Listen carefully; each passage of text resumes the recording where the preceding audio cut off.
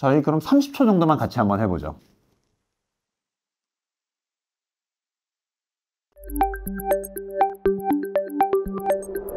얼마 전에 요가 자세를 따라 하는데 한쪽 다리는 서는 게 잘 안 되고 바닥에 앉았다가 일어날 때 손을 바닥에 짚게 되는데 하체 근육이 제가 약해져서 그런 건가요?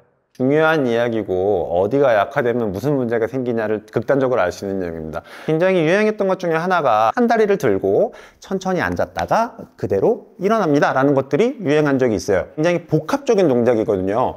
이거 하려 그러면 무릎도 유연해야지 고관절의 근력도 충분해야 되거든요. 근데 질문에서 안 된다 그랬던 건 뭐였냐면 나는 극단적으로 한 다리 들고 서 있는 게 안 돼. 이 얘기를 하는 겁니다. 다리를 들고 설려면 일단 뭐가 돼야 되냐면 골반이 안정이 돼야 됩니다. 쓴 상태로 딱 있으면 사실은 다리 골반이 내려가거든요. 내려가게 되니까 그걸 버텨주려고 반대쪽 근육이 힘을 줘서 서 있게 되는 거거든요. 그래서 이 자세가 안 됩니다 라고 하시는 분들은 엉덩이 근육에 문제가 있는 겁니다. 오늘은요, 엉덩이 근육을 강화시키는 방법, 엉덩이 근육이 문제가 있는지 확인하는 방법, 두 가지에 대해서 알아보도록 하겠습니다. 엉덩이 근육이 괜찮은지를 확인하는 방법은 두 가지가 있습니다. 사실 근육이 종류가 달라서 두 가지는 다른 근육을 체크하는 건데 내가 전체적으로 약한지 안 약한지부터 확인하고 넘어가 보죠. 첫 번째는 간단합니다. 그냥 다리 드시는 거 확인하는 겁니다. 다리가 들고 버틸 수 있는지 보는 겁니다. 몇 초 정도까지가 정상인지 보면 30초 이상 서 있을 수 있으면 그래도 나쁘지 않네 라고 이야기를 하고요. 60초가 넘어가면 정상입니다. 60초가 안 된다는 얘기는요. 골반 쪽에 문제가 있는 경우도 많기 때문에 다리 들고 1분 유지할 수 있는지 보시면 됩니다. 다리를 들고 버티는 것 자체가 테스트이면서 강화 운동이기도 합니다. 실질적으로 근육이 잘 작동하는지 확인하는 거기 때문에 근육이 사용이 되거든요. 다리를 들고 서 있을게요 라고 하시면 이거 자체가 테스트이면서 근력 강화인 부분인 거죠. 그리고 또 하나가 있습니다. 엉덩이 전체의 근육이 똑바로 작동하는지를 확인하는 거기도 하고 골반이 삐뚤어졌는지를 확인하기 위해서 사용을 하는 건데 일단 엎드립니다. 쫙 엎드려서 완전히 편하게 엎드립니다. 한쪽 다리를 90도로 굽힙니다. 90도로 굽힐 때 가능한 발목도 90도면 좋습니다. 90도로 굽힌 상태에서 다리를 드는 겁니다. 어떻게 되냐면 무릎을 땅에서 띄운다라고 생각하고 띄워주는 겁니다. 이 상태로 1분을 견딜 수 있는지 보는 겁니다. 저희 그럼 30초 정도만 같이 한번 해보죠. 다리를 90도로 굽히고 발목은 살짝 90도로 그리고 다리를 들어줍니다. 이때 다리가 부들부들부들부들 떨리는 경우도 있을 수 있는데 그것까지도 그냥 오케이라고 생각하시면 됩니다. 다리를 떨어뜨리지 않으면요.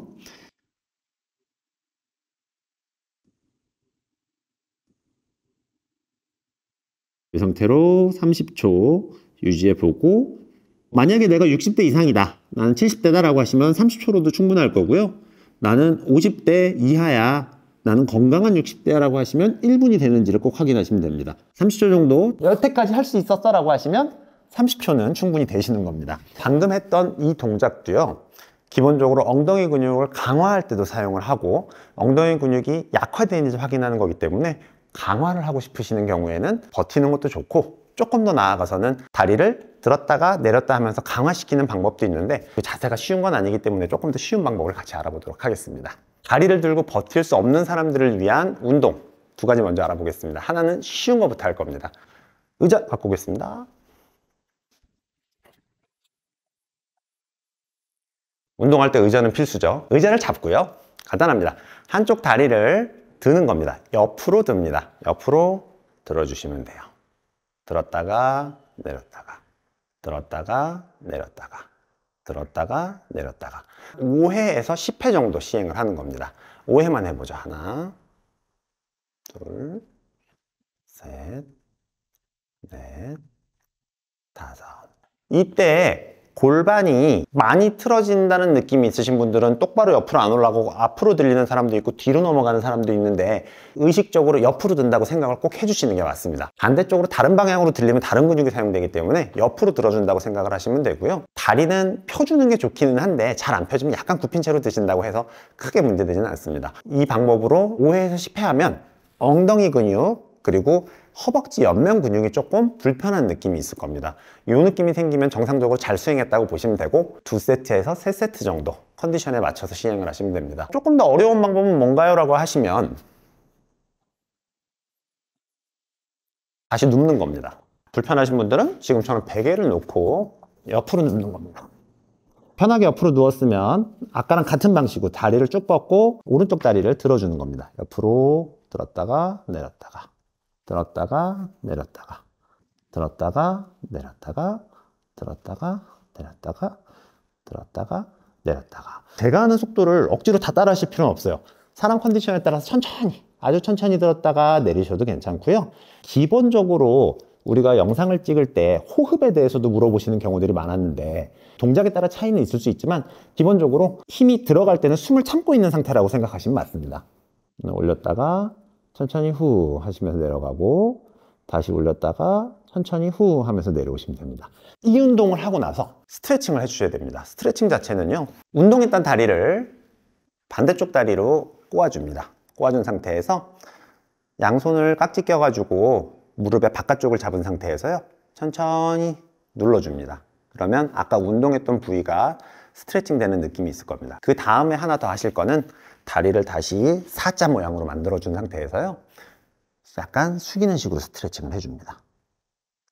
어우, 선생님, 저는 디스크가 있어가지고 자세가 어려운데 하시는 분들은 의자에서 시행하셔도 괜찮습니다. 같은 방식으로 다리를 꼰 상태로 쭉 눌러주는 스트레칭을 해주시면 되고요.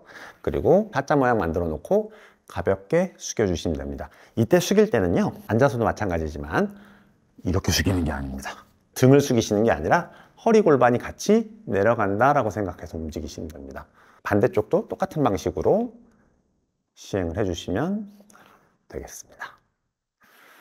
그리고 나서 우리가 아까 엉덩이 다리 드는 동작이 잘 안 됩니다 선생님 할 때 하시는 분들은 우리 애들 말 태워주는 자세 고양이 자세라 그랬던 거 취해준 자세에서요 한쪽 다리를 뒤로 살짝 밀어줍니다 그리고 다시 내려주고 다시 밀어주고 내려주고 밀어주고 내려주고 밀어주고 내려주고. 또 이 자세 또한 5회에서 10회 정도. 그리고 내가 엉덩이 근육이 좀 뻐근하네 라는 느낌이 날 때 기준으로 시행을 하시면 됩니다.